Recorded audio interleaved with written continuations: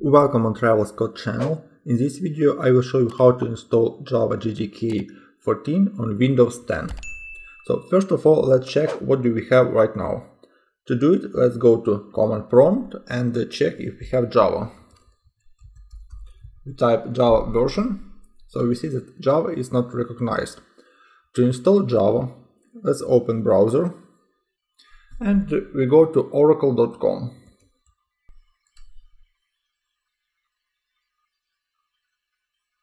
From the main page, let's open Products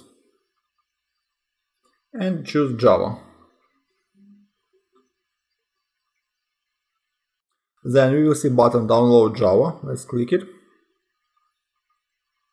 So as you see, the latest version is 14 and we need to choose JDK download.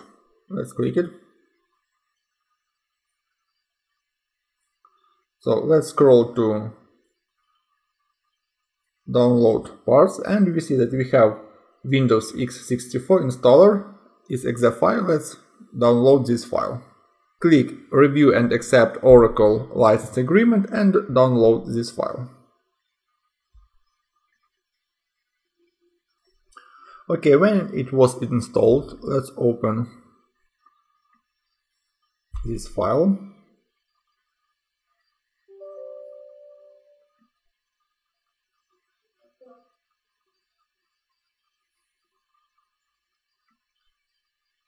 So here, as you see, we have a path where this JDK will be installed. So I would recommend you to change it by default. Let's click next. And now we see installation process. And we can click next steps to get some documentation, guides, but we don't need it right now, so, so we can close it. The next step, we need to check if we have these files. So let's go to disk C, program files, and we see folder Java. In this folder we have JDK 14 and all our files what we need. In bin you can see that we have all DLL files and uh, exe files. The next step we need to add uh, this path to system path. How to do it? Let's go to settings. System and here we need the type variable edit Edit system environment variables.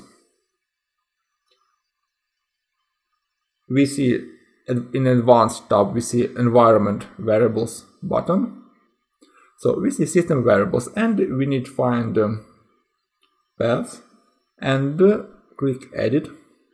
We need to add this path. To do it, let's copy path to bin folder. Copy and uh,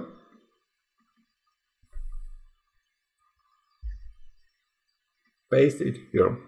So let's click OK and we can add Java Home path. Java Home environment variable is not actually used by local installed Java runtime. Instead, other programs installed on a desktop computer that requires a Java runtime will query the operating system for the Java home variable. So let's add it. So we need just add a new one. It will be Java home uppercase with underscore and the variable name we can put the same but without bin. So pass to JDK and that's it. Let's click OK close everything. The next one, to check, we need to close this command prompt and open new one. Let's check. And as you see, we have the latest version Java 14. Also, let's check. And Java 14 as well. So now we have the latest Java on our computer. Thank you for watching.